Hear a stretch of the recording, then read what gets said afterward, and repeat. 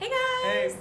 So we wanted to do a quick video on um, things that you can do extra in your summertime because almost everybody's on summer unless you work and then you're just, it's just summer season. yeah, so one thing that you can do if your availability is different during the summertime, you can go to a daily mass along with continuing to go to Sunday mass. And so most churches have one or two times, um, or many churches in your area have times where you can go to, to mass during the week too.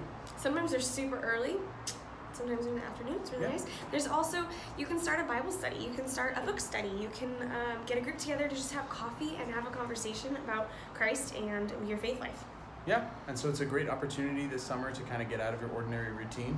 And as you're out socializing, like also take that advantage to like share the gospel with other people, Yeah. meet people, and introduce them to Jesus. Um, so hopefully that's encouraging to you. We hope you're having a great start to your summer, and we'll see you in the Eucharist. Bye. Bye.